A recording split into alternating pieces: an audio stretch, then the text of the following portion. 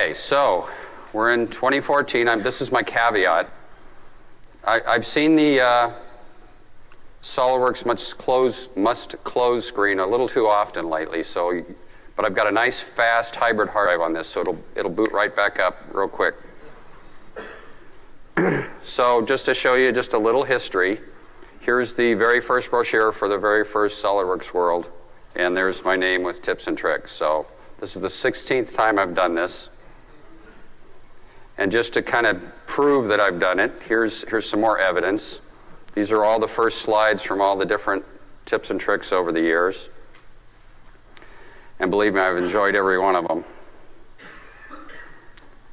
And we've experienced our all kinds of things throughout those 16 years. But then they go to the widescreen here in a minute. Let's see. Yep, see, then we start throwing in the wide. So it kind of screwed up the whole diagonal thing, but okay, so enough of that. So what is the definition of a tip or a trick? I mean, there's lots of sessions around here that talk about tips and tricks. So Phil's definition is nothing out of the help file. I'm not going to cut and paste out the help file and, you know, reiterate it. But I have, when you've been doing 16 years of tips and tricks, you can't come up with new material quite as quickly as you could at the beginning of the 16 years. So my little caveat is maybe I'll take something out of the help file, but I'll show it to you in a way you've never seen it before, or it's so obscure you'll never even use it again. But, but I, will show it to you, and I'll call it a tip. Okay, so be prepared for a little bit of obscurity, like this one. Okay, let's just get started. And I, if you don't know, I do this live, so we're going to stumble a little bit. We're going to back up, and I'll explain why I screwed up, and then we'll get even more tips out of that, right? So this particular problem is it's a curvy surface, curving in two different directions, but the customer wanted to put a grid like this top view right here, a grid that was perfectly lined up of these little dimples. Okay, so the top, and you can kind of see from this edge, the top and bottom is, is curved also. And then you've got this pyramid kind of shape coming off of that. Now the actual part had 375 boundary features in it. So I don't think you want to see how to do all 375, so I'll just show you how to do 10 of them.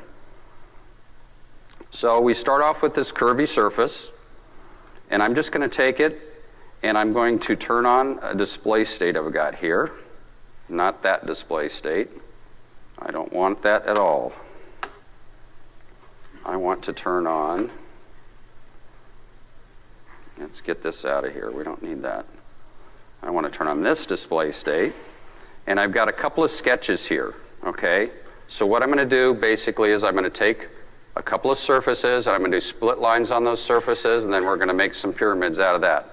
So the first thing I want to do is create those surfaces. So I'm going to pick these and go to the surfacing tools and we're going to offset and I would like to offset uh, 25 thousandths.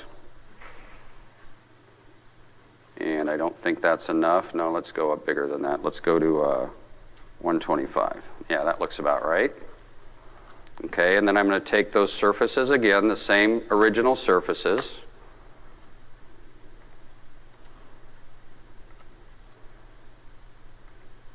And I'm going to offset them again and this time I'm going to go zero. So basically I'm just copying that surface.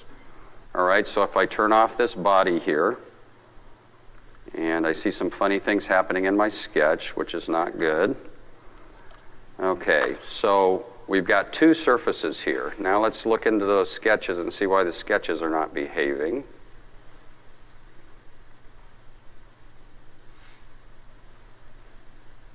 Pause, the awkward moment.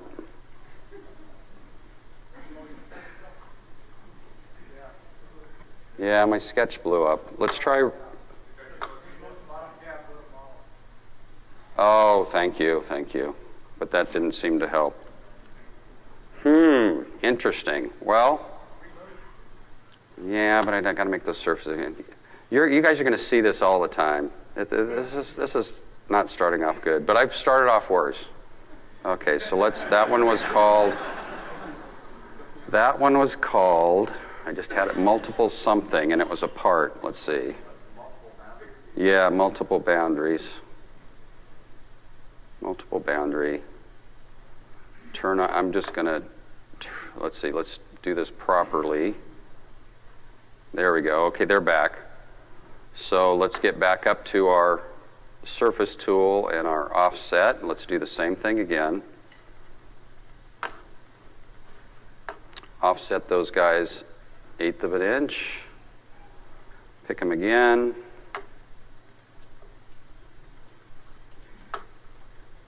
I also lost my wireless mouse, if anybody sees a wireless mouse around here. Uh, let's see, and we're going to offset that zero. So we're already into surfacing, right? Okay, so now I'm going to turn off the original body, or hide it, I should say. Okay, so now I've got these sketches. So I want to do some split lines. So I'm going to go insert curve split lines. And let's do the small sketch first. So we're going to project this sketch onto these surfaces. And we're going to split them all at once. And then I'm going to pick these surfaces that are surrounding the sp little split faces. And we're just going to delete that with delete bodies. And we're, we are not going to patch it. So now that we have these little squares, they followed the curvature of those 3D surfaces and they're just floating above it at that eighth of an inch above that original surface. And then we're going to go back to the same one, and we're going to do insert curve split line. And we're going to pick for the sketch, we're going to pick the outside squares, and then we're going to do, this is that bottom one that had the offset of zero. So we're going to split those, and then we're basically doing the same thing. We're picking the perimeter surfaces, and we're going to delete those without patching them. Okay, so now we've got a bunch of new surfaces that we didn't have a minute ago, and we're just going to do boundaries between them. So I'll turn off these sketches now because we no longer need them. And we're just going to quickly do boundaries. 10 of them you can do quickly, 375 you cannot do quickly. So we're just going to go up to our boundary and we want a solid. And we're just going to pick surface to surface. And that's all there is to it. Now, here's an interesting thing. SOLIDWORKS has changed the way merge result works over the years, okay? At first, back when it functioned improperly, it was more convenient because when you made a weldment, it would uncheck merge result and you wouldn't have to go back 375 times and pick uncheck merge result.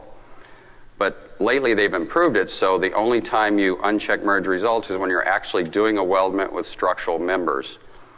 So technically you have to go back and pick 375 times. You have to uncheck merge result if you don't want it to merge with that original body that is there. But I've also discovered that even though it says merge result, and even though there's a body that it's touching, as long as that body is not showing right now, it's not going to try to merge it. And the try to merge it is the important part because if it tries to merge it, what we've got is we've got the original curvy surface, and then we've got this other curvy surface, which is the bottom surface I picked here, the larger one, and they're almost going to be touching. Technically, in your mind, they're touching, but in the mathematical mind of SolidWorks, they're you know, this has one de definition and this surface has another, and they may not be exactly the same every point on the entire surface. So SOLIDWORKS is going to have to make that decision. Do I try to merge it or do I not try to merge it?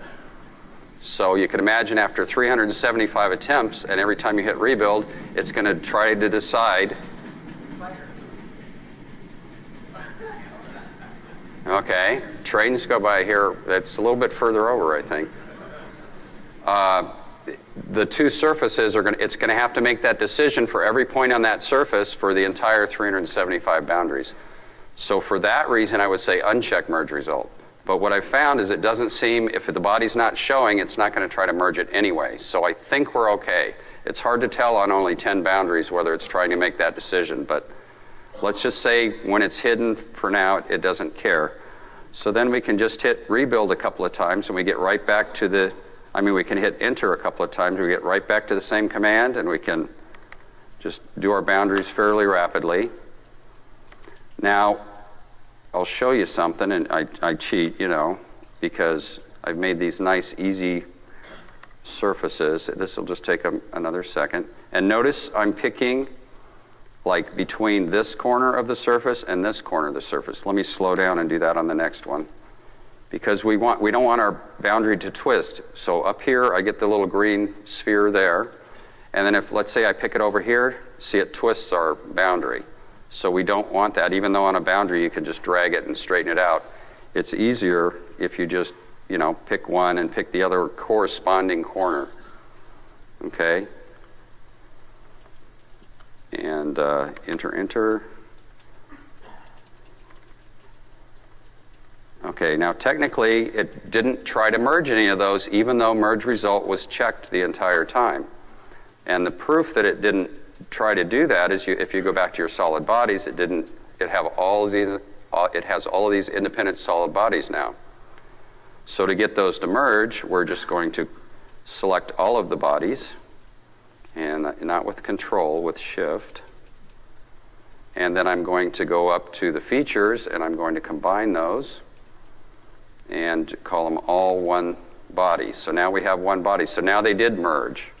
Okay, it looks a little funny with some blue surfaces. That's because we still got some surfaces showing, so we're going to hide those. So now we've got one solid body.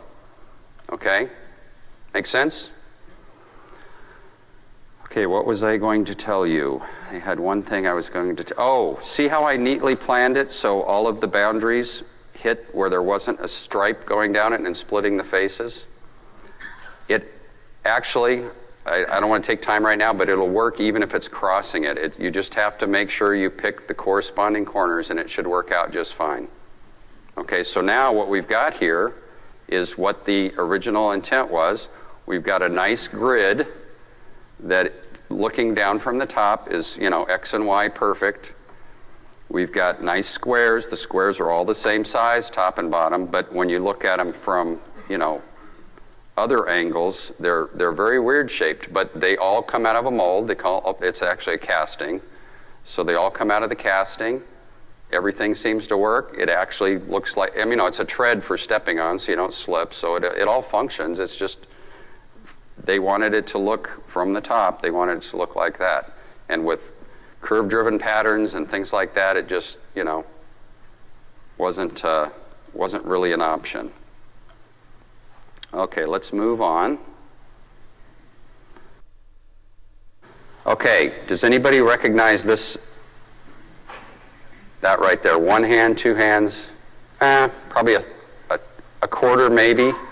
Okay, this is the magical tool that tells SOLIDWORKS to take your toolbox parts and turn them into regular parts. So PDM or nothing recognizes them as a toolbox part. They're just like any other part.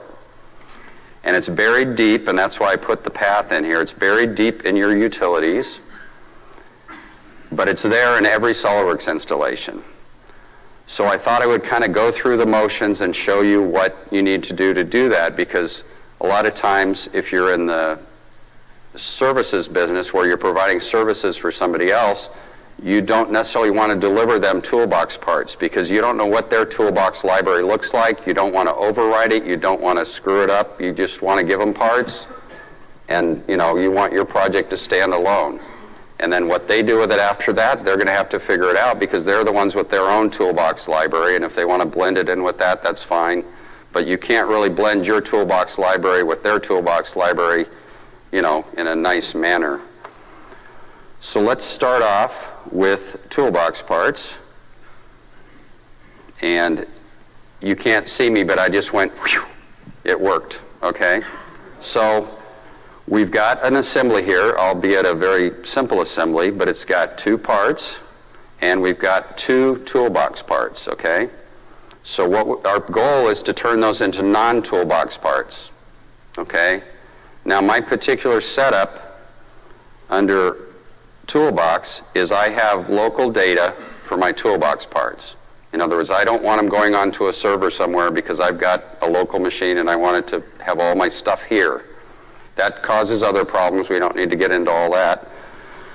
But the most important thing is this folder, I do not necessarily want that to be the default for my toolbox parts. So I uncheck this checkbox. It's checked off by default because when it opens up my files, I don't necessarily want it going back to that specific folder. I want it to go to the exact folder that I'm working in right now. And I'll just, it'll make sense in a minute, okay? So let's leave that unchecked. So we're not going to go look at any specific location for our toolbox parts. So if we go out to File and Find References and go Copy Files, which is just an old-fashioned way to go to Pack and Go, we get to this, and then we're going to include the toolbox parts. So we've got the two parts we had in that assembly, and we are listing the two toolbox parts. And you can see we're uh, coming from, it doesn't really matter where we're coming from, it's grouping them all together, and we're going to browse and put those in somewhere, 2014. And I'll just make, uh, let's see, let's look down here, tips, and let's make a new folder real quick. We'll just call it SSS. And then you kind of have to pick up and then pick back down so it puts SSS right here, right? Everybody knows that little trick. And then we're going to make that new folder. And we're going to say, okay, so it's going to put all of these components, including the toolbox components, in that SSS folder. Okay, so I'm copying from where I'm at into a brand new folder, making a copy of my entire assembly because I'm getting ready, remember, I'm, I'm getting ready to send it to my customer. And I don't want to send them toolbox parts. So I'm going to save that. Okay, close that. Now I'm going to close this entire file. And I don't want to close anything else. Now I'm going to go to my desktop, and I happen to have that little uh, utility right here. And this is what the utility looks like. It's not very descriptive, but I'm going to add files to this tool. Okay, the files I want to add are those two toolbox parts. So we have to go browse for those. Those are going to be here and then in SSS. So these are the two files that it thinks are toolbox parts. Okay, SolidWorks thinks those are toolbox parts. I'm going to open that. Now, what the way this tool works is you can either set a flag yes or no. Yes means it's yes, it's a toolbox part. No means no, it's not a toolbox part. Okay, so I want to change it to no. So SolidWorks does not think it's a toolbox part. So I pick no, and then I say update status. Okay, it just changed it. We're done with the utility. We just changed it toolbox flag, yes or no. It's, now it's no for both of those in that SSS folder. Okay, so then we close that. Yes, you can change it to yes and then go back. Is he?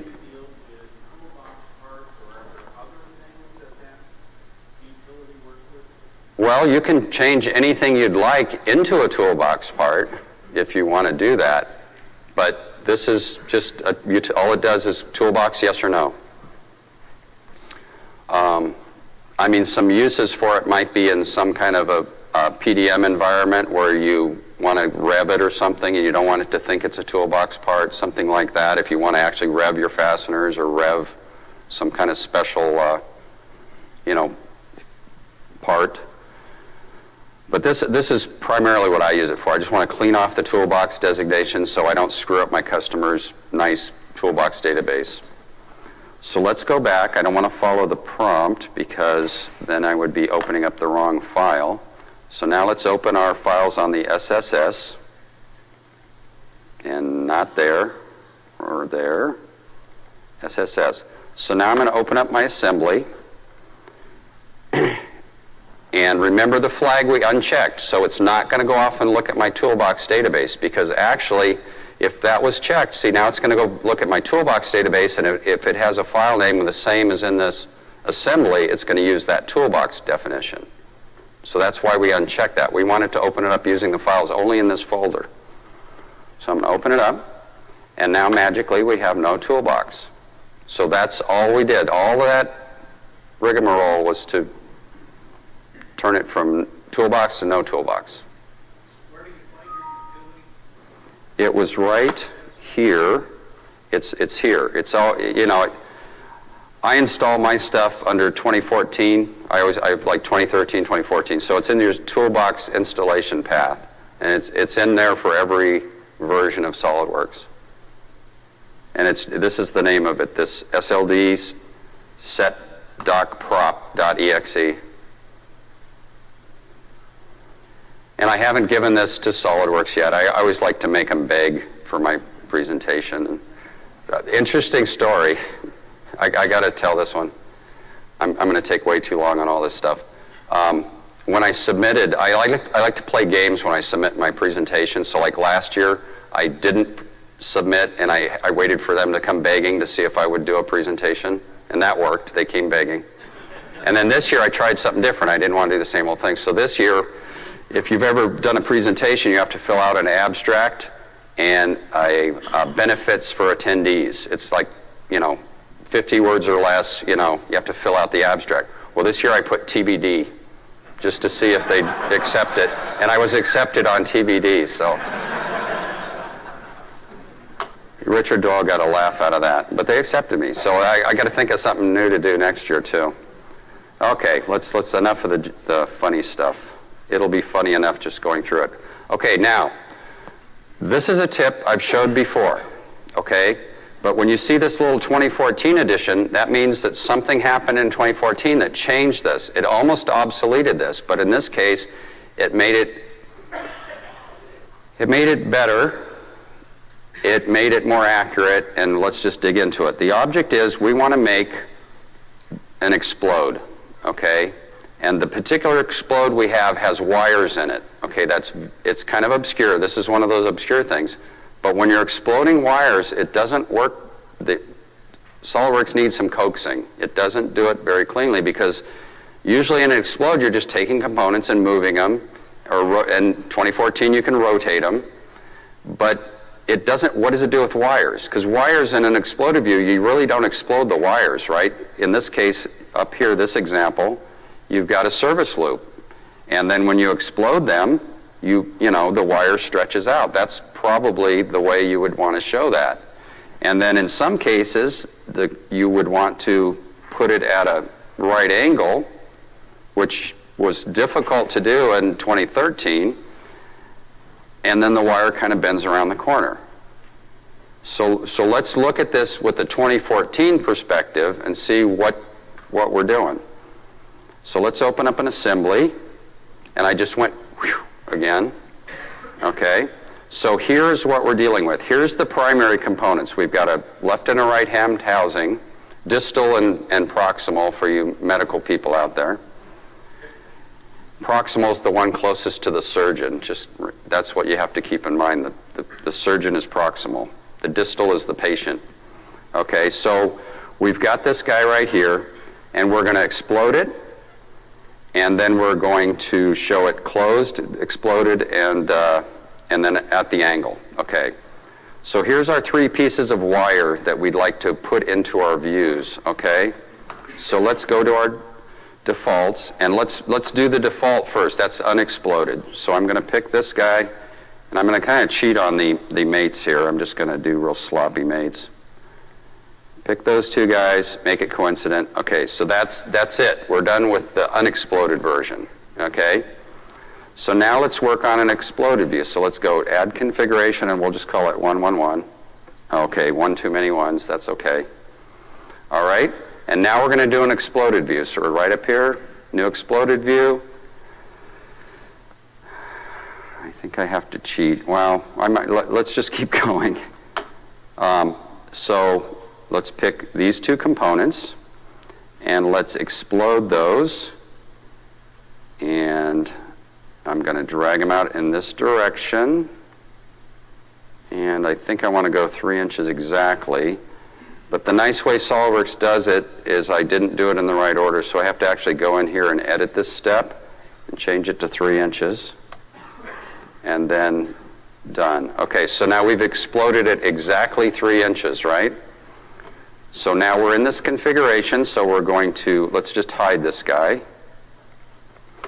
And now we're going to use this guy, so let's put him in there. And it, it temporarily unexplodes when you're doing mates, so let's deal with that. and then it pops back out after you're done with the mate. So there's our exploded view for 2014. We could do that in 2013 also, okay? So now let's make the third one. Add configuration. Let's just call it 222. Now, this one is different. Let's hide this guy because we're not going to use him anymore. We're going to use this guy. And let's actually put him in position because I, uh, that might help me figure, remember what the distances are better. Uh, let me try that again. Pops up, coincident. Okay, so we've got to bring these components. So let's add a new exploded view to this configuration. And we're going to pick this, and we're going to pick this. And we're going to go out. And see, this is, I got to, I'm not real good at this, but let's edit it again. And we want to go out 1.5. Now, if you haven't noticed it already, there's a sketch right here. And it's an assembly sketch, so I can't change the color and make it bright. But what that assembly sketch does is it's giving me a guideline because the next thing I want to do that's 2014 is I can rotate inside of an exploded view, right? I can tell it to translate or I can tell it to rotate. So let's go back to this exploded view, edit the feature, and we're going to actually pick this component and this component, and we're going to rotate. okay, and this is where I'm probably going to screw it up. I want to rotate around this line in the sketch. And I would like to rotate it around, and I want it to do 90 degrees. And then I'm going to say OK and see what happens. OK, pretty good, pretty good. We, it was like not quite 90, but close enough. OK, now I got to move it down again, so I'm going to add one more step. And I'm going to say uh, this guy and this guy, and I'm just going to do it by eye. Let's say it drags down to there, okay? Okay, so now we've got our exploded view. So unexploded, it's there. Exploded, it's there. And we've got our wire in place. Okay, so that's, that's new for 2014. You, to do this in 2013, you'd have to take it and you'd have to make another configuration with one component exploding straight out like before and another entire instance of that same component and put it down and you know, hide and show as you switch configurations. Okay, now there's one more thing you can do in 2014 that you couldn't do in 2013. If we go out to these components and we look at this guy, it's just a sweep along a spline. Well, guess what? We can dimension a spline now. So I can add a dimension to this I, I, get to mention SOLIDWORKS Mechanical Conceptual. In SOLIDWORKS Mechanical Conceptual, I don't have to go get the dimension tool. I can just pick it. But here I have to pick the dimension tool. So anyway, I want to change the length of this because that wire that is either as a service loop or expanded in one exploded view or expanded in another exploded view, it's always going to be the same length, right? So now you, all your managers know that you can make your wires the exact length in every single configuration, and they'll love that. They'll, they'll want you to spend all that extra time making all your wires exactly the right length. So I'm going to change this to 6.25. So now our wire is exactly 6.25 long. Go to that one. Go back to our assembly, which is here. And so now we know that this is exactly the right length. And then we just go to our other configurations. So there's our, oh, and then we have to hide the one we did there. So we got to get our configurations just right. And remember, this one has an exploded view. That's why it wasn't lined up. So now we can go out to this component and go out to this component. And we can edit that one. And we can edit our path. And we can make that exactly 6.25 also. See, isn't this detail you just want to add to every one of your assemblies when you get back? You want to make all your wires exactly the right length. It's so critical. But this, this is new, you know, new uh, functionality. So, and then in this particular case, our wire just has two different configs. So let's go to this guy, and then we'll go back to our sweep, and we'll add that. I mean, edit that, and we can add our dimension to this as well. This is a little too long, 6.25. Everybody's happy. So now if we go back to our assembly, okay, there's that one. There's that one. And there's the default. We just got to hide a few things because we didn't hide them before. So now all our configurations are exactly correct, and all the wires are exactly the same length. You've always wanted to do that, right? And the other question, I, I probably about three quarters of yes, I played with those splines for hours to make sure I could change the dimension and they'd all be the same. It was, it, well, not hours, minutes at least. I mean, it was difficult to get them all so, you know, they wouldn't blow up on me as this. So anyway, that's, that's new functionality in 2014, but it's kind of show, see, it's showing you something that you won't, you're not going to be able to look up in the help file. What do I do when you, you know, I want to explode and there's wires involved? So nothing out of the help file there. Okay? That all make sense? How many would actually use something like, how many explode wires? Eh, not too many, but it's a pretty difficult task, especially when you have a six foot long heart catheter. That's where the proximal and distal thing comes from. And the wires are seven thousandths diameter and they're six feet long. There's a lot of service loops. And then there's tubing with the, that carries fluids, and then there's electrodes, and there's thermocouple wires. There's all kinds of stuff. I'm sorry? Yeah, it, the spline is what you're dimensioning. So you could treat that as a tubing or whatever you want. I've got a, actually I've got another tip for for long sweeps. That's actually more descriptive than this for long skinny things with lots of sweeps.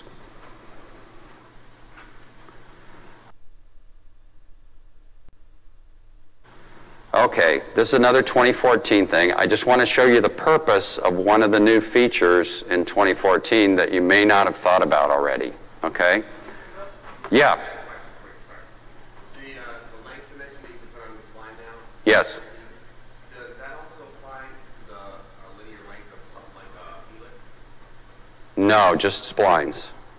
The, he, he asked if the linear length had to do with helixes also. And it, no, it's just, unless you want to make your own helix out of a 3D spline and go through all the points through. You could do a helix as a guide curve or as a point to connect your spline to, but no. Okay, so th this one's, this one's uh, interesting. And this is, as soon as I saw this in the 2014, you know, hit list of new things, I, this is immediately thought of this and maybe you did too. Okay, so what I've got here is I've got a solid that I turned into a couple of sheet metal parts, okay? So if you just want to quickly go through it, I can just roll it back. And, and so when you're doing this and you've got multiple sheet metal parts, there's a, there's a checkbox you got to watch. So, so if we convert to sheet metal, and let's, I just want to hit that real quick to show you this one thing. Uh, not with that feature though. Where's the convert? There it is. With this feature here, there's a checkbox here that says keep body. Okay, that's going to hang you up because you start off with a solid and you convert some of the edges and some of the faces into a sheet metal part, and then your body goes away. So now you don't have a, a, a solid body to do the other sheet metal part. So you can either uncheck this, or I mean, I'm sorry, check this, and by default, I believe it's unchecked. Or you can do it the old-fashioned way and you can just copy that body right off the bat. So in other words, I took my little trapezoidal, whatever shape you want to call this, and I was going to convert that into two different sheet metal parts. And so I took that and I copied it first and then made two sheet metal parts. That's basically what I want to show you here. And then, then we come down to the bottom and we added some holes for fasteners because we want to put PEMs and we want to turn this into an assembly, right? So we do a save body. So I'm going to come up to my cut list. Somehow it got a cut list there because I probably tried to play around with Weldment in here somewhere. Anyway, that's not important. I'm going to save bodies. And I'm going to pick the two bodies. And I've called them upper and lower conveniently. And I'm going to actually create an assembly at the same time. let's put them out on a funny folder too. Let's see. Let's uh, let's just create a new folder here. Let's call this one uh, TTT. Oops, I didn't do that right. Open the. Oh, good. It didn't do anything. There. Now it should work. Save. Oh, okay. If you insist. Okay, so this is the assembly we're naming, TTT. Okay, and that put it down here, and then we're going to say OK.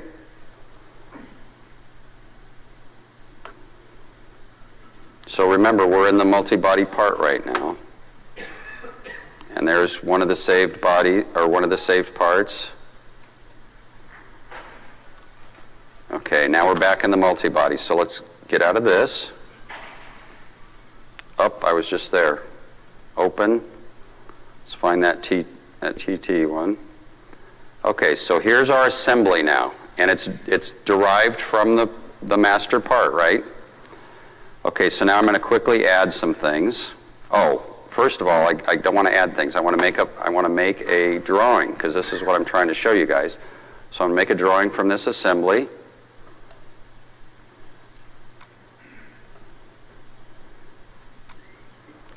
And I'm going to quickly make some views if I can pick the right button here. Let's make an isometric.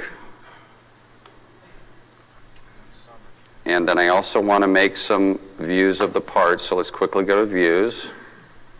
Quickly in my, you know, quickly might not be quite quick enough for you guys, but let's pick one the lower. Okay, and that's the important one. So let's do the lower. So I'll, I'll tell you what's going on ahead of time. We don't have any fasteners in this lower yet. This is just a single part, right? So now let's go back to our assembly. Let's, let's turn on shaded so you can see that a little better. Let's go back to our assembly. Now let's add some fasteners. So I'm going to temporarily hide that. And I'm going to pick, let's just pick these inside four edges. And then we're going to go up to our toolbox real quick and we're going to put some PEMs in there. So we come down to PEMs. And we want nuts and non-locking. Let's just put some of these, insert into assembly. And I don't care what it puts in, whatever it decides it likes, we'll take it.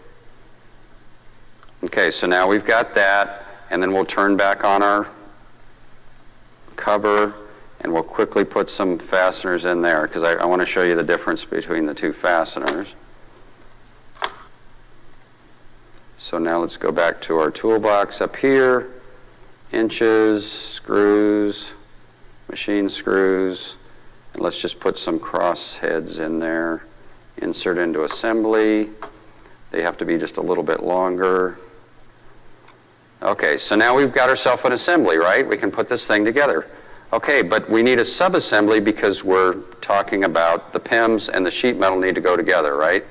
So let's create a subassembly there. Let's go to our four PEMs, and then let's go to our lower part, and we're going to form a subassembly here.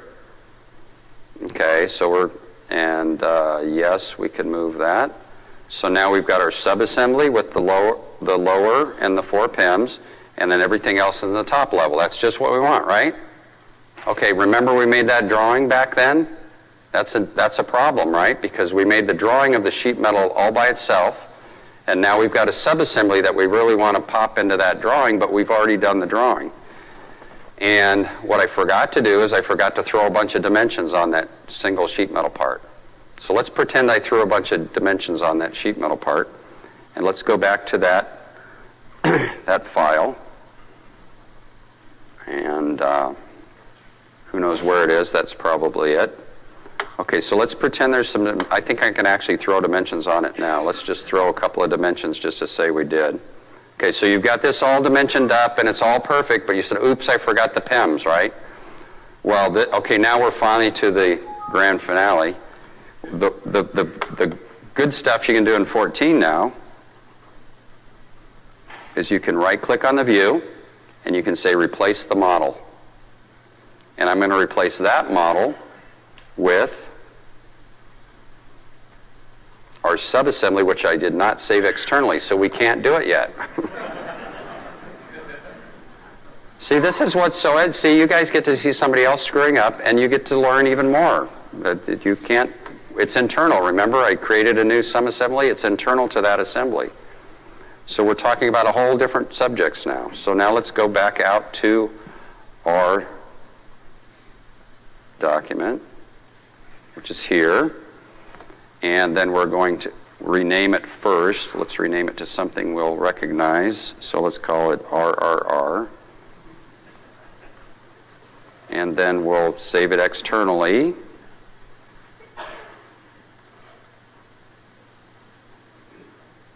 Okay, now we can go back to our drawing. And now we can replace our model. And we can browse for it. And we're going to look for RRR assembly. So we're going from a part to an assembly. And the PEMs pop in and the dimensions stay right where they came from. So that's, that's the whole, this whole five minute conversation was just to show you that. But see, now you see a practical use for that particular 2014 feature. You didn't come here to see perfection, right? You came here to just watch me uh, make these types of uh, obscure things. Okay, that all makes sense. All right, so I combed the, uh, what's the top 10 list called these days for 2015 enhancements? I, I combed that, whatever it's called these days, and I found something called plat platonic solids. Okay, so they're basically things like, they look like molecule shapes or something. I don't, I don't know the math behind it, but there's shapes like this, and they said they're really hard to make now. We need to make them easy in 2015.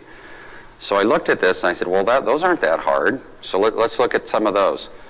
So let's just go back to PowerPoint real quick. So basically, we've got this 109 degree angle, and then it's like if you drew flat surfaces on, between all these spheres. So we've got 109 degrees, and then we've got three of them, and then we've got a flat bottom. So it's like a real funny pyramid, right? Three-sided pyramid. Well, yeah, so if you get out the extrude and the sketches, it's going to be kind of cumbersome to make one because you're going to have to, you know, cut it and trim it and get it just the right angle for the, you know, draft or whatever. You know, it's going to be kind of hard. But let's use some surfaces. Okay, so here's my first sketch. Let's look at it like from the front view. So there's our 109 degree angle. Let me just double click on it so you can see it. There's our 109 degree angle. Okay. So I'm going to take that, and I'm just going to make a surface out of that. Just go to our surface tools, go to planar surface, pick that, make a surface out of it. There's our planar surface. Okay? Now, remember we had three different sides, so I'm just going to pattern that. That's just a circular pattern. The axis of rotation, I'm going to turn off the sketch, by the way. Let's turn off the sketch so we can't see it. And our axis of rotation is just that edge on that surface. And I just want three. And we don't want to do a feature, we want to do a body. So we come down here to body, and we want to do three equal spaces. So there's our three surfaces. Now those are really what I would call construction surfaces because those aren't actually in our solid. So now we're going to have to add some more surfaces. And you say, well, that's, that's no fun, but look at how easy it is. Just pick two edges, and you get a planar surface. Okay? So now we take that surface, and I'm trying to rotate it so you guys can kind of get oriented. So I'm going to take that surface, and I'm going to take and uh, do a circular pattern again. And I've got the axis of rotation is that same edge. And this time I want three of them, and I want that guy right there. And we're going to say OK. So now we've got some surfaces that are going to turn into our solid. We've got one more surface, that's the bottom one. That's another planar surface. We just need to go between two edges. Say OK. So now we've got all the edges we want. It's a little hard to see because the part is blue. By, by the way, I've got a, I've got a complaint. Every year, SolidWorks gives you slides and the PowerPoint slides to go by. That's where you get all the that Dassault Systems, you know, the 3D Experience Compass. That was they issued that to us. So they also have colors, and I like to make all my part colors the same as the slide colors, so it all matches. Nobody else probably does that, but I like to do that. And the colors this year really sucked. They didn't give us a very good selection of colors.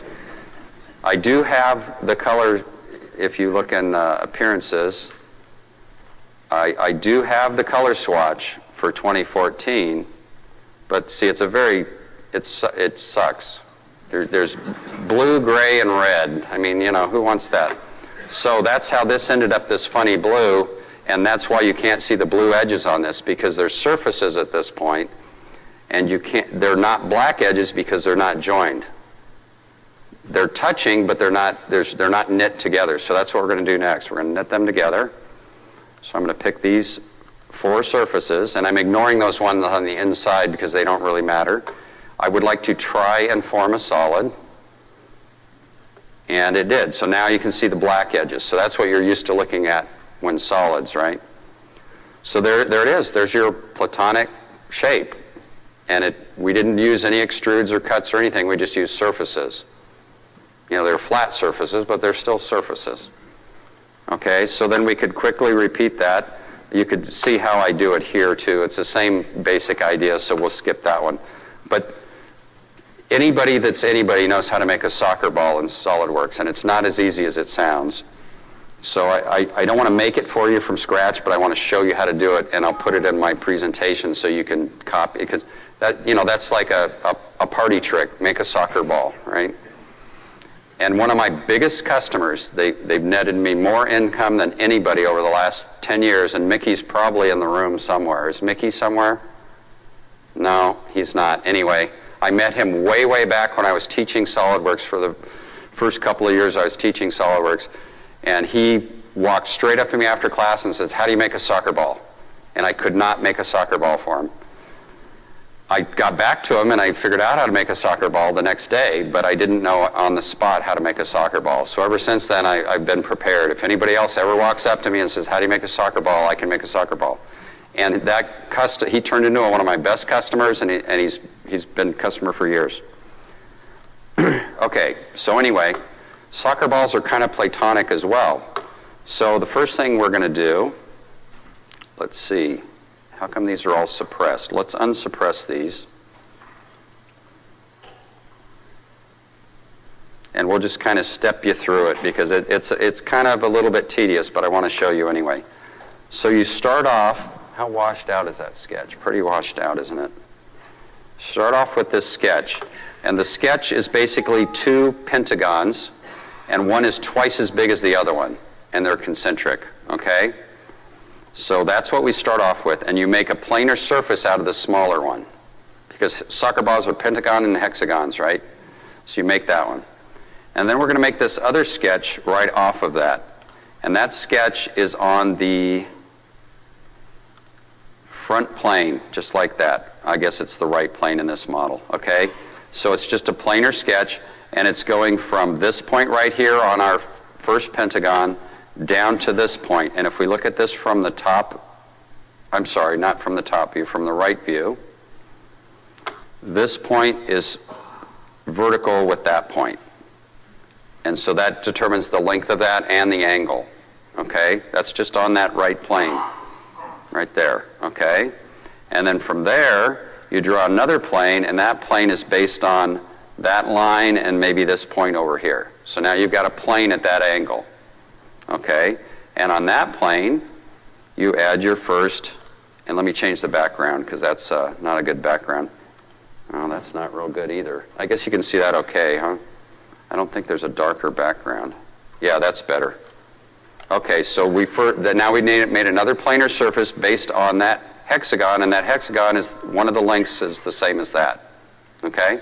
This will come in handy someday. You'll, you'll need this. And then we're going to make an axis going right up the middle. And maybe we made it, you know, we took one of the points on the sketch and went normal to that face and got that axis. And then we did a circular pattern of that hexagon. Okay? Then we made another plane And that plane was based on the angle that's made between those two hexagons. Because now we're going to getting ready to put another pentagon on there, right? So let's do that. Put another pentagon on there. Got it? And then we do a pattern of that. And so on. We make another plane, make another hexagon now. We're due for a hexagon. And then we pattern that. Okay, we're more than halfway done because the center of the, the ball is right about here. Mid the, it's the midpoint of this guy. So then we're going to put a plane right at that midpoint. Okay, follow me? And then we're going to mirror the, all those bodies we just created. Okay, so that just mirrored them. That doesn't look like a soccer ball yet. There's, there's, there's gaps in them. But we're just going to move the bodies. Actually, we're going to rotate them so they all line up. So now we've got the entire soccer ball. And then we're going to knit them together into a solid. And there you go. Now you can amaze your friends with your party tricks of making a soccer ball. Yes. Okay, you're talking about this, this one that went kind of down at an angle? Okay, let's just roll back real quick. Yeah, that's the key to the whole thing. So we had the original sketch, the two pentagons that were twice as big, one was twice as big as the other one. Every edge on it was twice as big as the other one. And then the sketch, let's just open it up. And it was on that right plane. So I just drew a line from that point right there, coincident with that point, down to here. And that was perfectly vertical with that point on the larger of the two pentagons in the first sketch. So that determined the angle and that determined the length of that line by just being horizontal. Does that make, does that make sense yet? And remember, the right, the right plane is key because, see, you're, you're on that plane when you're drawing the sketch. So you go from there, and then you come back up to your sketch and you make those two points vertical. And that lays out the first primary angle. Soccer ball questions, okay. Yes? I'm sorry? Uh, I couldn't tell you that. It doesn't have any air in it either. It's actually a solid, so it's homogeneous. There's no air at all. It, it would bounce really good if you get, hit a hard enough surface.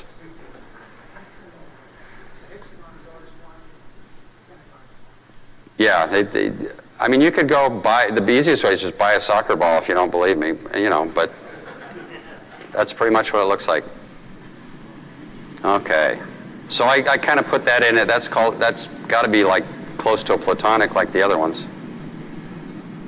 All right. Excuse me. So, let's see, 4.30, 5.30, half an hour. I put all the new cool stuff at the beginning and I put all the kind of repeat stuff at the end so that way when I run out of time, eh, not if, but when I run out of time, you'll just miss the stuff that wasn't quite as cool. Okay, so pocket screws and biscuits. If you do it woodworking, you know exactly what I'm talking about. Pocket screws are these things down here, and I hope I opened up this assembly. If not, we'll have a brief pause while SOLIDWORKS restarts. Yes, I did. Okay.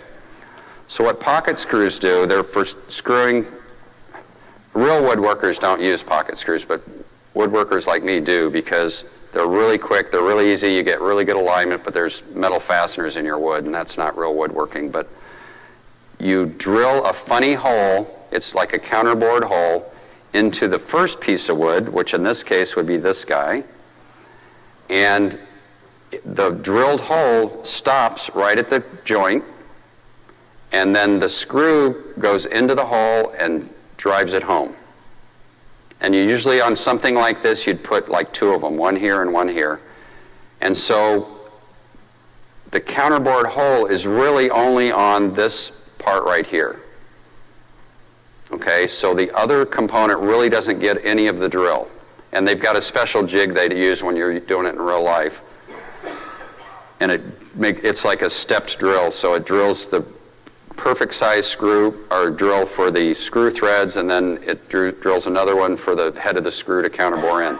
And then if you're really fancy, they make these little special wooden plugs that you plug up the hole that you just made so it doesn't look like there's any screws in your part, okay?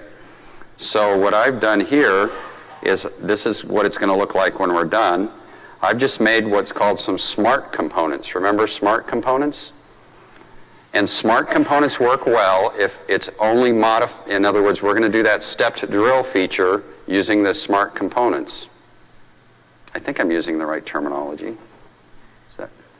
Smart features, smart Smart, yeah, smart features. I'm sorry. Don't like to use wrong. We've added smart features to this component. So anyway, I'm going to position those, and then we're going to create the feature in the, this piece of wood. And we're also going to insert another component, which is the plug that plugs it up. So real quick, I know I'm talking too much and hand waving, but let's, uh, let's add one of these. And I've just got it set up so it's real easy to mate. And then I'm going to pick uh, this plane and pick it on that surface, make that coincident as well. And we'll just put in one, but generally there's two of them. Okay, so now you just go up to the, com the component that has the smart features and you say insert smart features. And it just wants to know, okay, which component do you want to apply this to? So it's going to be this face, and then it's done. And I say, okay, and it's done. So now let's make this transparent so you can see what happened. It added the screw. It made the feature in the component I was wanting, I specified, and then it added this other component in our assembly that's the plug for it. Okay, so that works well, but you've got to kind of think about this because a lot of woodworking, it's, it would be considered an assembly feature, right? You don't really want to drill the holes or something before you have both pieces of wood in the same place and you kind of match drill things, right? So some woodworking things are better depicted that way. In this case, though, you could drill the holes ahead of time because the hole only goes through this one component, and then when you assemble it, you put it in a special clamp and you, and you drive the screw home and everything's copacetic. So in this case, a smart component or a smart feature to a component eh, works well. Okay, another common tool in woodworking, and it's a little bit classier than a pocket screw in the, in the pecking order of woodworking joints uh, is called a biscuit. And it's basically a football thing, and you put a little slot in two components. In this case, it would be like for this and this component. And you put a little football-shaped slot in that, and then you lather it full of glue, and you put it in there, and it swells up, and it makes a really clean, uh, sharp, aligned joint, okay? But think about it. We have to put a feature in both of these, okay? So that's a shortcoming of the smart component. You cannot have it put features in two different parts at the same time, or at least I couldn't figure out how to make it do that. So this, we're going to resort to our assembly feature. Okay, so just real quickly, I'm going to take these guys and I'm going to mate that to that face, to that plane, and then I'll just kind of drag it into place by eye. It's, I think I've got it pretty close now. Let's turn these two guys to transparent so you can see what's going on. Okay, so basically that you center this just right, and it's got a special, uh, you know, usually it, it looks kind of like a router, but it, it does those. So we've got to get those pockets in that, both of those components. So we're going to use an assembly feature. Well, to do an assembly feature, we have to have an assembly sketch. I'm losing on all the non-woodworkers now. They're all leaving. We've talked too much about one subject. So here we go. We're going to uh, uh, insert a sketch, and we're going to put the sketch on this plane right here. And this is neat. This is new for 2014. This is kind of neat. It's warning me that I'm opening a sketch in the assembly. In other words, sometimes you, you, you're trying to add a feature to a specific part, so you should be editing that part, right? So it gives you this little warning, but we, we're, we know we we, want this assembly. So then I'm going to take this, and uh, I also have a sketch in that biscuit, which is right here. And I'm going to take that, and I'm going to take that sketch right there, and I'm going to convert that And now we've got that shape in our assembly sketch. And now I'm going to use an assembly feature, insert, assembly feature, cut, extrude, and I'm going to do a midplane because we want to go through in both directions. And we would like to make that wide enough for the biscuit. And the other important thing here is we, do want, we want to specify what we're doing the cut in because we don't want to cut our biscuit away. We just want to cut the two pieces of wood away because there's three components here we're talking about. So we're going to specify those two components, do the assembly cut, and there we've got the assembly cut. And we've got our components. So that wasn't quite as slick as the smart component, but there's no way I could have cut both of those components at the same time with a smart feature. That almost makes sense? Okay, now, now what I didn't think about too much here is how you want to do this if it was a production environment. If I was laying this out, I would cut the two pieces of wood and then I'd, right before I assemble it, I'd cut the slots for the biscuits. So that would truly be an assembly feature. I wouldn't want the dimensions of that slot on my detail of that piece of wood. I wouldn't want them to try to cut those ahead of time. But I could see some instances where you had it very planned out and you're in a production environment, you would want to do that. So you could do that by going back and taking your assembly feature and propagating it to the parts.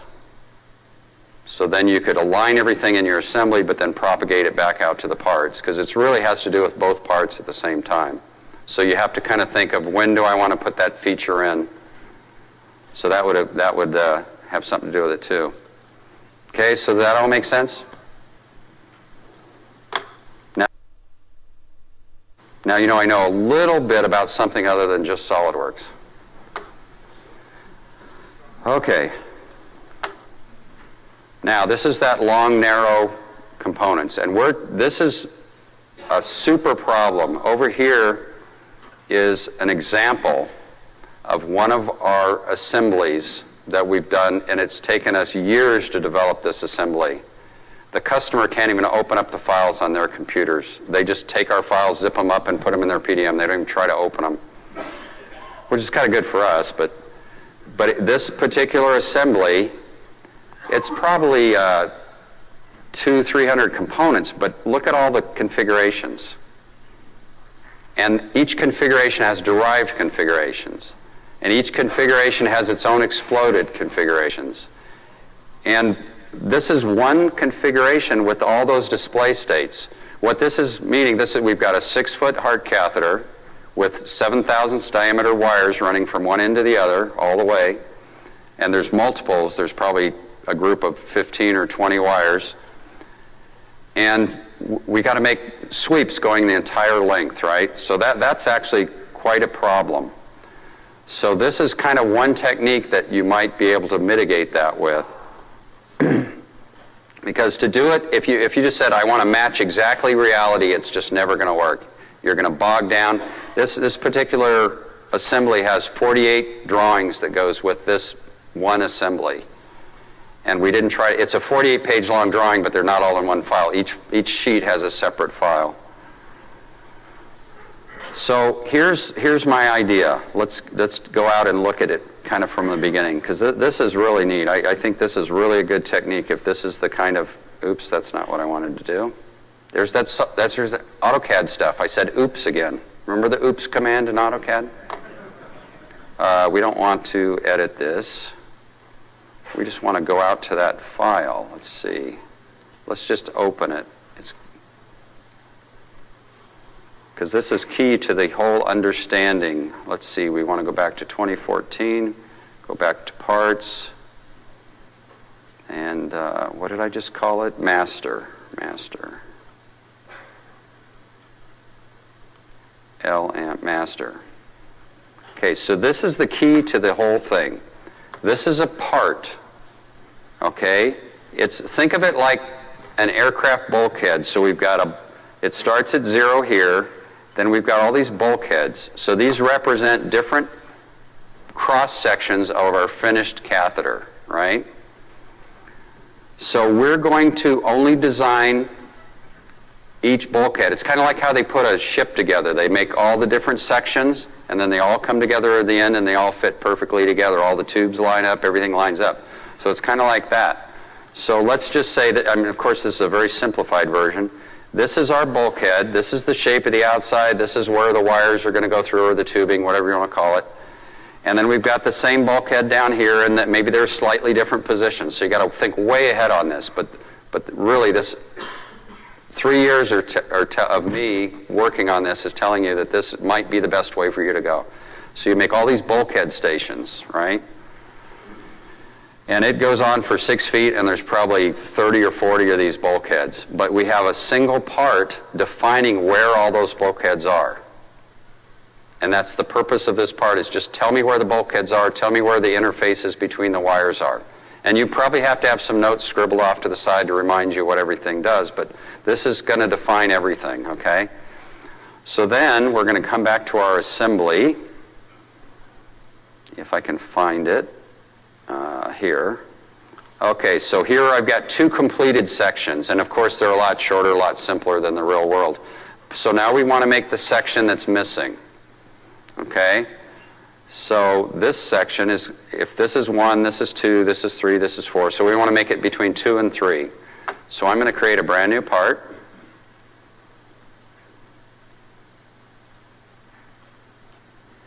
And the first thing I'm going to do is I'm going to insert a part. And that part I'm going to bring in is the master, which you probably see it, but I don't. Yeah, oh, it's already highlighted. Master. Okay, now remember that was just a bunch of sketches. There actually weren't any solid features in that. So I'm going to insert that. And here we have the choice of what we're going to bring in. Well, we don't even have to bring in solid bodies because we don't have any solid bodies to bring in. We're just going to bring in this, the unabsorbed sketches and the planes. That's all we're really interested in. So this is what it looks like when we bring it in. Now we can use that to create our part.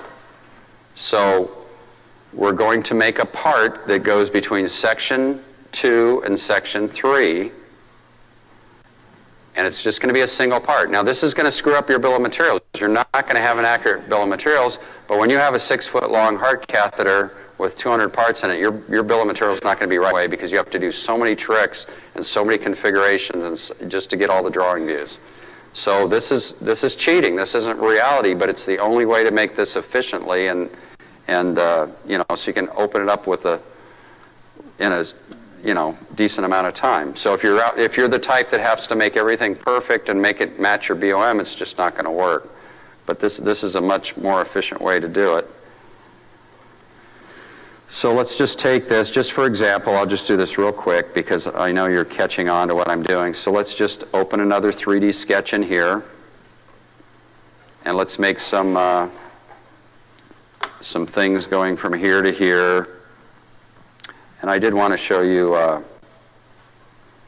one other thing. So if you want these all to be perpendicular, you can draw some orthogonal lines at both ends and then you can add some tangencies to that. And that way, you know, at the bulkheads, they'll appear to be going straight through. And you can get a lot fancier, but let's just leave it at that. And then I want to add another sketch. i will just take this guy right here, and I'll open up a new sketch here because we don't want to disturb that master sketch. We want that to stay clean. So I'm going to add another sketch here and I'm going to convert that edge. Did I open a sketch? Yes, I open a sketch, going to convert that. And I'm going to say OK to that. And now I'm going to hide this master piece, and it's not going to let me because I don't know why. But let's just hide the sketch this way. Okay, so this circle is in our new, believe it or not. And so then I'm just going to sweep that. So we'll go from there to there. And there's our new wire in our, that's a wire that's going to define between two and three. And just, I'll just skip a lot of uh, other similar things. We'll go back into our assembly. Let's save this. And we'll call this, what are we up to R already? What's the next one? S? Uh, RS? Oh, I already did S. Uh, WWW. Should have went with numbers, they're easy to remember. Okay, so then uh, we've got our part saved, www, blah, talk. And let's go back to our assembly, which is, let's go through PowerPoint to get to our assembly. And now we can just insert that part we just made.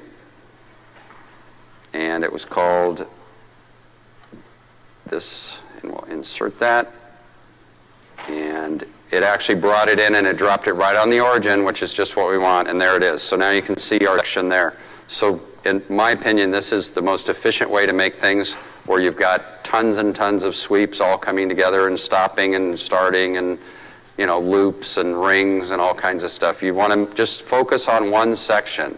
And the way you define the sections is what do you need to make, what do you need to document, what do you need to show on the drawing, or what do you need to show in the assembly uh, department, you know, what do you need to show?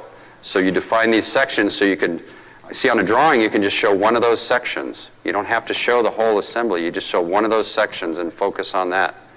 So it, it, it really makes life easy compared to, you know, a million configurations, a million display states, a million exploded views, assembly cuts. I mean, you could go on and this, this is crazy that, what this assembly looked like. And it wasn't that many parts, it was just very complicated. A lot of views, of us, and it was assembly views, you know, first do this, then do this.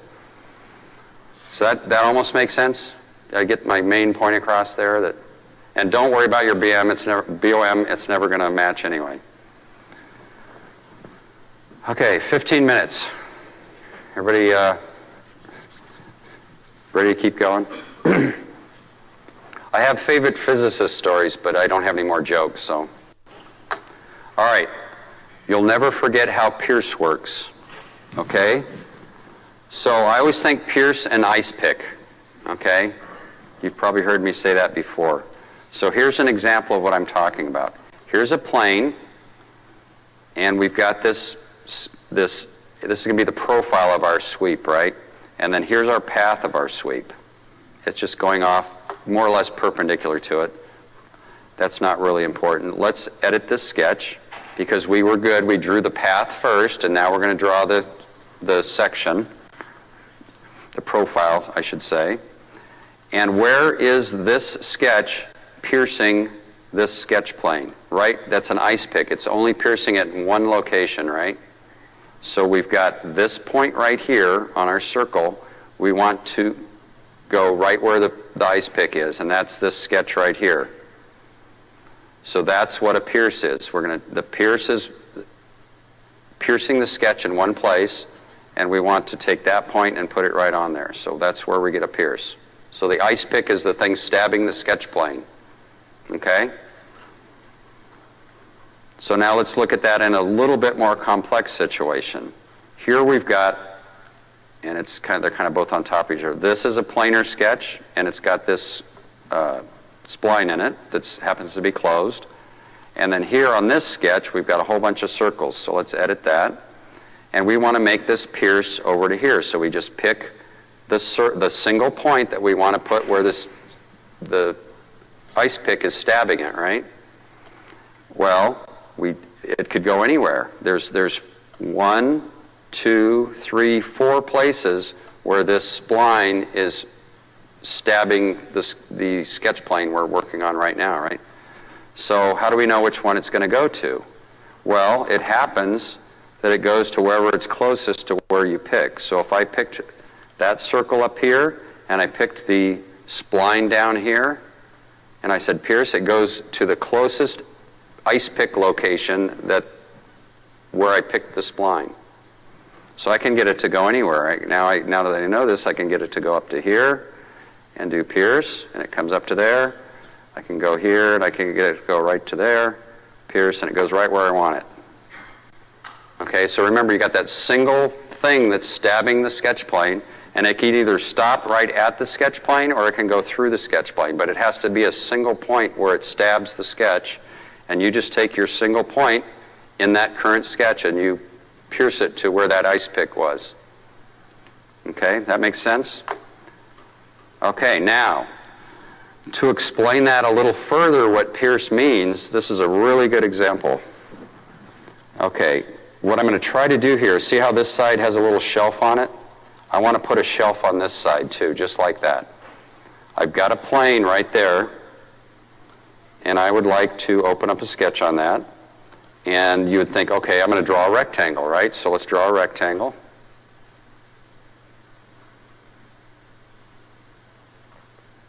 Okay, now, how do I position this rectangle? So let's look at it from the top. It's always easier to do sketches when you're looking straight on, right? So let's look at it from the top. And let's take this, and we know we want it on that edge, right?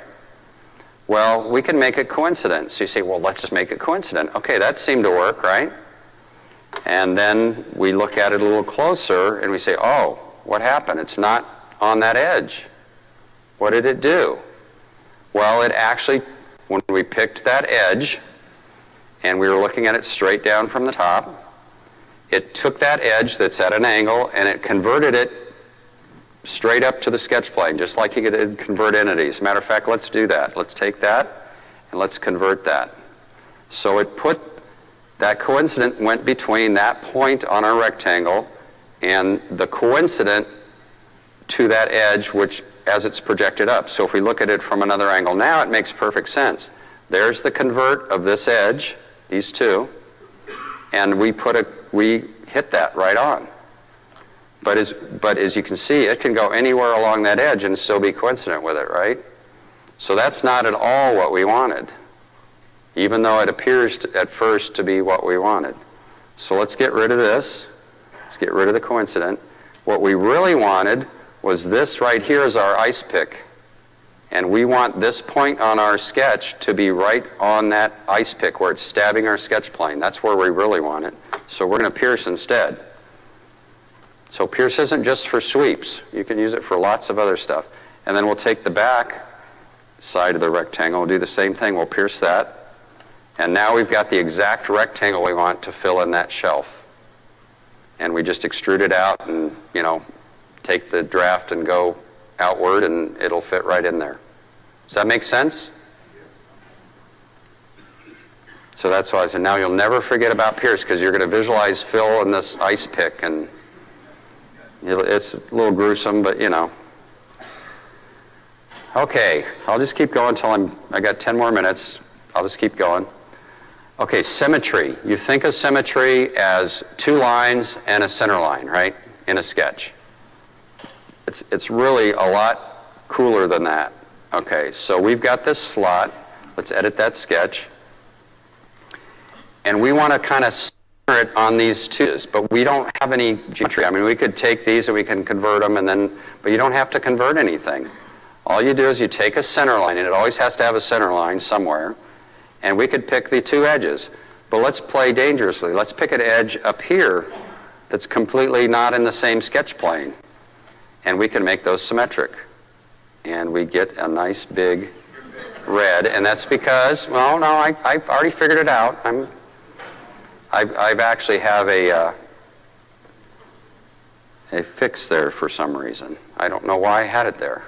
But that, now we've got uh, a symmetry between the edges. So it's taking those edges, it's converting them and it's making the, the symmetry between those two converted edges, which it really didn't put the edges there, but it's converting it, you know, and that's how it figured out where to put, put the uh, symmetry.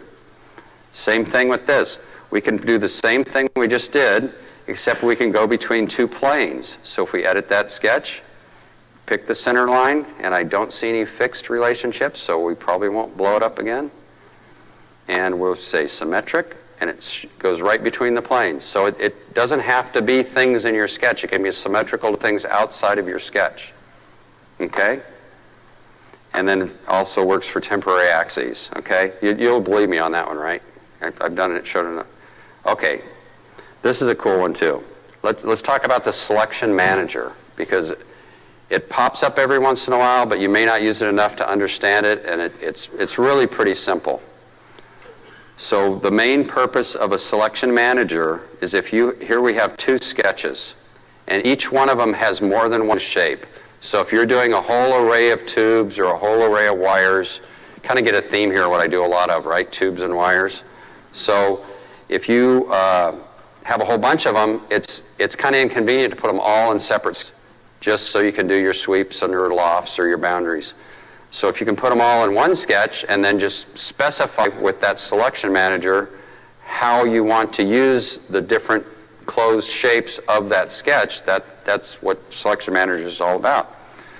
So let's, uh, let's do one. Let's do a, uh, let's do a loft first, okay? Now, we want to go between this sketch and this sketch, these two closed shapes. But if I pick this, it's going to want to go to all- the shapes in that sketch. So we're going to pop up the selection manager, and we're going to pin it, and we're going to say auto OK selections. And we're going to go between a closed shape, and I'll pick this corner here, and then I'll say OK to that. Oh, it, it, auto OK was already on, so it already did. And then I'll go to this one. And there's our loft. Okay? So that's all it's just decide, you know, don't use these two closed shapes, use these two. Okay? Now, a loft, I just wanted to show you the difference between a loft and a, a boundary real quick. If we go, and I'm not, there we go. Oh, oh, I'll skip that for now. Let's go to boundary, do the same thing. So boundary, we still need the selection manager. We're closed shape to closed shape, right? I'm not getting those spheres sticking around. Well, like I said, I'll skip that right now. So now that's, that's what we use selection manager for in boundaries and lofts. Let's real quickly go to sweeps, because this is much more interesting. So now we've got three different sketches. We've got the path, except for this little red one. And then we've got here, we've got three different profiles all in the same sketch. And then we've got, uh, oh, I pointed to that wrong. There's the three separate profiles all in the same sketch. And there's that little red sketch at the end, okay? So let's use the selection manager to do some sweeps in this case. So first we need a closed shape that is our uh, profile. So let's just pick this one. This is a real simple example. Pick that one. It filled it in. Now we need a open loop for the path, and we're going to pick that one, and we've got a sweep. Okay, that's easy. Okay, but what we did unique is we had more closed shapes in the profile, or, or path, yeah, the profile, and we have more open shapes in the profi- in the path. Trying to slow down. Anyway, we've got, that's why we need the selection manager. Okay, so let's keep going with some other ones. Let's go to our sweep again. And let's uh, choose something else. Let's choose a region. So we're going to use a region for the profile. So let's just pick that region. Actually, let's pick the bottom region. Uh, that didn't that didn't work out. Let's clear the selections. Region is picked. That's going to be our profile. Then we go back to our path, and it's going to be this open. And now we can see we not only, oh, that wasn't expected. What did I do? Did I, I said region. Okay, let's try this one more time. Clear selections. Region, down there. The preview is right say, let's, maybe we need to close this. Yeah, the preview's still right. There we go. Okay, so not only did we use the uh, specify a closed shape, we specified a region within a closed shape, and there's all these other closed shapes around it, right? So that worked out well. Now let's look at the last thing that a selection manager can do, and that's another sweep. And this time we're going to pick a closed shape. But this time, we need to pick multiple things for the path. So we're going to pick this guy, and we're going to pick this uh, open shape and that open shape and put them both together to bind to form a group. And so we can sweep along two different sketches that aren't even related or two different edges that aren't related. Okay? Okay, let's, let's see if we can squeeze in one more in three minutes. Uh, all you got is a big party. It's just right across the way. It's going to be cold. You got to go back to your rooms, get jackets anyway. So, you know, and it is going to be cold, by the way, because there's they have those little heaters, but I didn't see any tents or anything to go in, so it's going to be cold. Ah, this this is a good this is a good one to end on. Okay, So I'll, I'll skip right to this one because this is the good one. Okay, so we come up to this part. You, you, get, you get a lot of parts that are imported, right? And they have radii on it. And, and it's really cleaner if you could get rid of all the radii and then kind of push and tug. And I'm talking about like IGES files where you don't really have the features for you. You want to get back to before radii stage. Okay, so let's just put a radii on this real quick. And let's just do a constant, and let's do a quarter inch. And how come it's not previewing? I don't know. I, I had no preview. Okay. Now, this is how you got it. It was imported, right? If you want to delete it and go back to no fillets, you just say delete and patch, and it goes right back. Okay? That, that worked fine. Let's try that a different way. Let's put a radius on it. And this time we're going to do a face fillet. And we're going to go between there and there. And same size. Okay, looks exactly the same, right? I didn't, I didn't do continuous curvature. I just said put a fillet in there using a face. And I said, okay, same thing, delete, delete and patch. Oh, what's going on? I can't do it. So you got to kind of think out of the box. Think of back in the days when you first learned how to do a fillet. It seemed like sometimes it wouldn't work, sometimes it would. And you say, darn this SolidWorks, how come you're not more powerful?